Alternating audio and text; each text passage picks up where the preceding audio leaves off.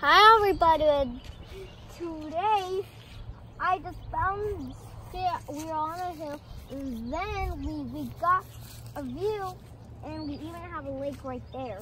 Yep. And I live in Harrisonburg, so look at the far way that we can go through. Well, when we all the way go, is like we, we, we saw the Eiffel Tower, which is the greatest, which is the tall, Yeah. tallest tower.